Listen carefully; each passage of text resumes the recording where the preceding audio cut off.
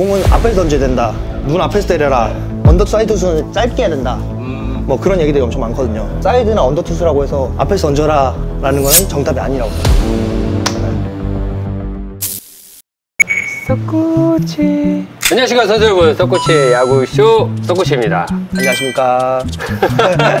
아 오랜만에 모셨습니다. 저희가 한 2년 전인가요, 3년 전인가요? 18년도죠. 그쵸. 아 코로나 이전에 박종훈 선수를 모시고 진짜 한번 조회수가 기가 막히게 나온 적이 있어요. 너무나 감사한 분인데 이번에 또 이렇게 또 야구를 좋아하시는 분들을 위해서 또 이렇게 나와주셨습니다. 언더 투수에 대한 사이드 투수에 대한 팁이나 이런 얘기들이 거의 없잖아요. 네, 맞습니다. 그러다 보니까 그런 걸 좀 얘기해주고 하면은 조금이라도 도움이 되고 싶어서 주변에서 DM 오고. 좀 좀 봐주세요 막 이런 친구들도 어. 보고 지금은 워낙 인터넷이나 뭐 이런 게 너무 잘 되어 있는데도 그런 네. 자료들이 없는 것도 좀 아쉽기도 하고. 네. 네, 그런 거에 좀 아쉬워서 불러주셔서 감사합니다. 아 여러분들을 위해서 기가 막히게 몇 가지를 또 준비하셨다고 하는데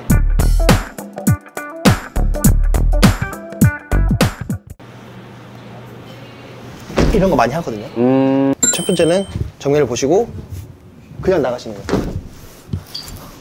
네. 근데 이때 조금은 다르게 사이드랑 언더투수, 언더투수한테 말하고 싶은 거는 뒤꿈치를 살짝 끌었으면 좋겠어요. 끌어라.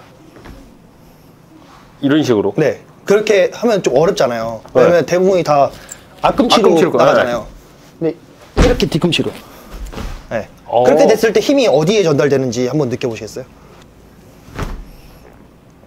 일단 이쪽 안쪽 안쪽에 전- 네, 전달되죠. 안쪽에 쫙 당기면서 네. 여기가 뭔가 네, 힘이 확 들어오는. 네, 양쪽 안쪽에 전달이 네. 많이 될 거예요. 이게 왜냐면은 대부분이 몸이 돌아간다 하고 내가 몸이 빠르다 생각할 때 이런 동작을 하면은 저는 좀 빨리 잡히더라고요. 여기가 잡혀야 네. 이 돌아가는 걸 조금 방지할 수 있다. 어, 해보시면 알겠지만 뒤꿈치가 뒤꿈치를 끄면은 몸이 돌아갈 수가 없거든요.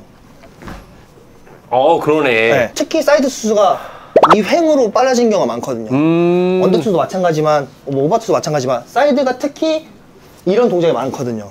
아. 그럼 몸이 빠르다 생각할 때는 상체를 잡으려고 하지 말고 연습을 조금은 하체로 이렇게 잡다 보면은 아. 돌아갈 수가 없어요. 뭐 예를 들어 상체가 빨리 벌어지거나 도는 선수들한테 한 번씩은 연습을 이렇게 던지라가 아니라 이런 연습을 하면서 보강을 하면 좋다. 아. 앞꿈치를 썼을 때 이 앞쪽에 힘이 들어간다면 뒤꿈치 썼을 때는 확실히 뒤쪽으로 많이 들어가거든요. 음. 그러면 몸이 정말 돌려야 돌 수가 없어요. 그러면서 조금씩 내가 몸이 빠른지 안 빠른지를 알 수가 있거든요. 이거 힙 드라이브 연습할 때 한 번씩 뒤꿈치로 한 번씩 어. 미는 연습을 해요. 그러면 또 두 번째. 그리고 두 번째 네. 사이드 언더 투수의 오늘 릴리스 포인트 그런 거에서 얘기하고 싶은데 대부분의 학생들이 공은 앞에서 던져야 된다. 그쵸. 앞에서 때려라. 눈 앞에서 때려라. 네. 아니면 팔을 스로잉을 언더 사이드 투수는 짧게 해야 된다. 음. 뭐 그런 얘기들이 엄청 많거든요. 근데 자료와 사진들을 봤을 때 오버 투수는 이런 투수가 정말 많아요. 음. 근데 사이드 투수는 이런 사이드 투수는 없어요. 앞에서 때리는 사람 네. 없다. 네. 아. 왜냐면 임차, 예를 들어 임창용 선배도 이게 들린 상태에서 이렇게 던지시거든요. 여기서 던지시거든요. 어. 근데 제가 생각 그렇게 해서 언더 투수도 보고 막 이러다 보니까 점점 뒤로 오더라고요. 이렇게 포인트들이. 그러면서 제가 느껴보고 저도 사이드로 캐치볼도 하고 많이 하니까 느껴보면 봐. 오버, 사이드, 언더순으로 조금씩 뒤로 오는 것 같아요. 뒤로 오는 거다. 네. 뭐를 가격을 하더라도 그쵸. 이렇게 가격하면 힘이 맞아, 맞아, 전달이 맞아. 너무 약하잖아요. 쉽게 말해서 골프를 생각하더라도 그쵸, 그쵸. 뒤에서부터 땅 치고 나가잖아요. 그러니까 사이드나 언더투수라고 해서 앞에서 던져라 라는 거는 정답이 아니라고 생각해요. 음. 그런 걸 좀 친구들이 알았으면 좋겠고 또 대부분의 저한테 궁금해서 오는 친구들이 대부분 몸이 너무 빨라요. 앞으로 쏠려요. 아. 이런 친구가 거의 대부분이거든요. 그러다 보면 스피드도 타, 타격에 마찬가지만 멀리 보내려면은 그만큼 앞으로 보낸 것보다는 내 있는 힘을 받아서 모아서, 네. 회전이 되잖아요. 포인트나 그 그쵸. 타이밍이나 그런 밸런스를 만드는 거는 네. 정말 솔직히 쉽, 쉽지 않다 생각하거든요. 근데 여기서만 앞에서 앞에서 세게 세게 세게 맞아. 이런 게 너무 많거든요. 내가 생각한 것보다는 뒤로 와도 괜찮다요. 내 팔 스로잉은 조금씩 뒤로 와야 음. 힘을 전달하는 게 강해진다는 거예요. 그거 꼭 얘기하고 싶었어요. 정말 아, 사이드나. 언더투수들이 앞에서 앞에서 던지는 그런 스로잉이나 그런 연습들이 뭐 잘못됐다는 건 아니지만 내가 가장 힘쓸 수 있는 포인트가 어딘지 가장 힘쓸 수 있는 포인트에 던져야 음. 가장 강한 힘을 던질 수 있으니까 아. 그런 거좀 공부하시고 보셨으면 좋겠습니다. 아, 좋습니다. 이제는 이론이 아니라 이제 실기를 통해서 네. 한번 보도록 하겠습니다. 네, 알겠습니다. 네.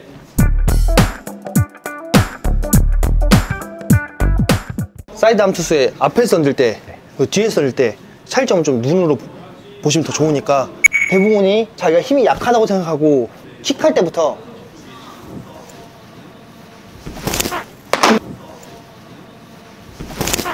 이런 친구들이 있어요. 이런 투수가 엄청 많거든요. 힘 모으는 것도 과하고 나갈 때는 이렇게 나와요. 그러다 보니까 팔이 스로잉이 되려면은 더 짧아지고 앞에서 밖에 던질 수 없거든요. 음, 이 회전도 내가 던져야 되는 가동 범위보다 더 많이 회전이 되고, 더 써야 되고. 예, 그리고 그만큼 더 느리게 되고, 음. 이 던지는 포인트 타이밍 자체가 흔들리기가 쉽고 너무 쉽거든요.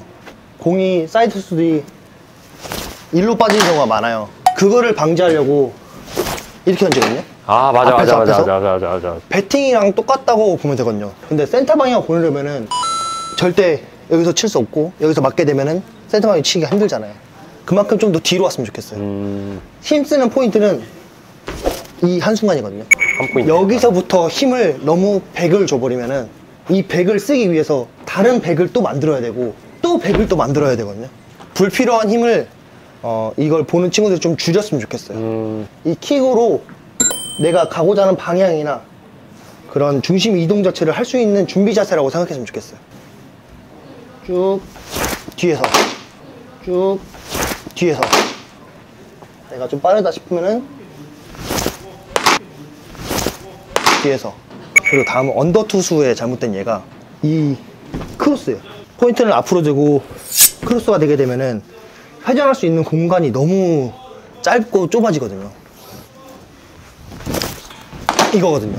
중심 잡기가 너무 힘들죠. 가장 힘쓸 수 있고 가장 무거운 무게를 들 수 있는 자세는 이 자세라고 생각하거든요. 그쵸. 기본 스쿼트죠. 네.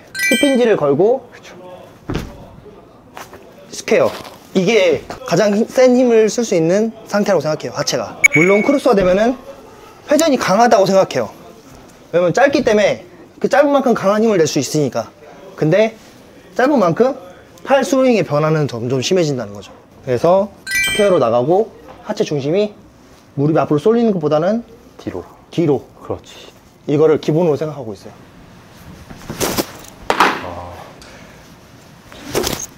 뒤에서.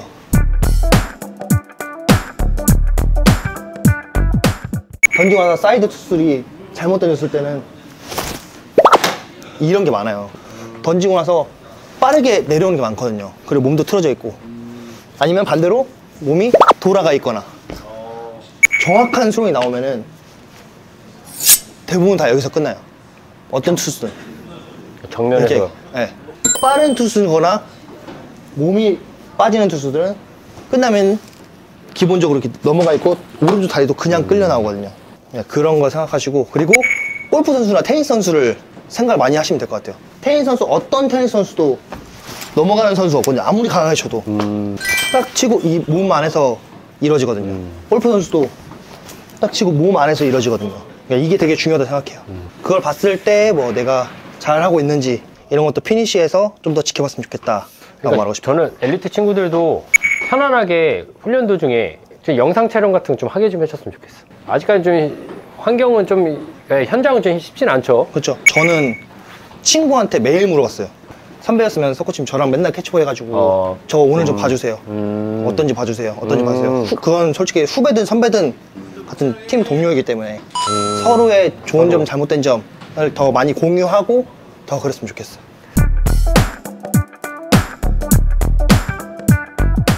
이제 간단하게 한두 가지 이제 훈련.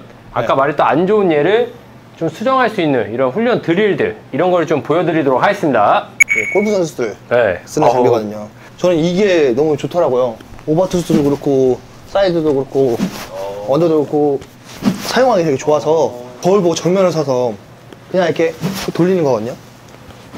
네, 이렇게 돌렸을 때 이 이 소리가 앞에서 이런 느낌인지 뒤에서 이런 느낌인지 네. 어, 이 장비가 약간 힘을 앞에서 쓰게 되면 소리도 안 나고 어, 횡횡 아. 거리더라고요. 뭔가 좀 가볍게 도는 네. 느낌이 나네요. 뒤에서부터 때려야 힘이 어. 전달이 많이 되더라고요. 그리고 거울로 봐도 이런 느낌보다는 이런 느낌이 네, 멋이 멋있고 싶고. 이런 멋이 아니라 이런 멋이 더 낫더라고요. 그래서 어. 이 드릴 많이 추천해요. 이런 이런 운동들. 섀도우 수건 같은 경우에도 앞에서 때리면 소리가 잘 안 나요. 네. 뒤에서부터 때려야 소리가 나거든요. 소위 말해서 그런 얘기 있잖아요. 공을 최대한 오래 잡고 있어야 강한 스핀을 낼 수 있고 강한 볼을 던질 수뭐 있다. 회전, 네. 네, 그런 것처럼 뒤에서부터 그리고 절대 몸이 이렇게 되지 않게 하는 게 제일 중요한 것 같아요. 예전에 팔자를 많이 했다면은 네. 팔자도 지금도 하고 있지만 팔자를 하면서 이렇게 아. 하- 연습을 하고 있어요.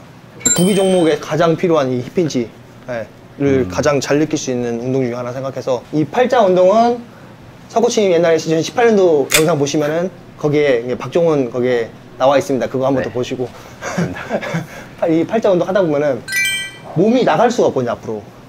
왜냐면 힘이 힘 전달이 옆으로만 음. 직선으로만 되기 때문에 기본적으로 팔자 운동을 하면서 이걸 이용해서 몸 안에서 던지는 훈련을 하, 뒤에서. 연- 연습을 많이 하죠. 음, 이렇게. 그래서 이 영상을 보는 많은 뭐 다양한 분들이 각자 자기한테 적용할 만한 것들이 굉장히 많을 거라고 봐요. 어떻게 적용할지는 각자의 또 숙제이고. 네, 그렇죠. 여러 가지 경험을 많이 했으면 좋겠어요. 저 폼 진짜 수십 번 바꿨거든요. 뭐 다른 종목들 운동도 많이 해보고 일부러 더 해보고 경험해보고 물어보는 것도 절대 창피한 것도 아니고 후배들한테 선배한테 물어보는 거 절대 창피한 거 아니니까 좀 더 많은 말과 많은 대화를 했으면 좋겠어요. 음. 특히 부모님과 그리고 감독 코치님과 많은 얘기를 하면서 잡아갔으면 좋겠습니다. 마지막으로 우리 박종훈 선수 올 시즌 몸 건강히 또 하셔가지고 좋은 성적을 또 올해 또 보여주셔야죠. 네, 당연하죠. 박종 선수와 정말 좋은 뜻깊은 시간, 그 다음에 뭐 알찬 이야기를 좀 나눴고요. 앞으로도 우리 박종 선수 많이 응원해 주시고 올해 부상 없이 화이팅 하길 바라겠습니다. 감사합니다. 감사합니다.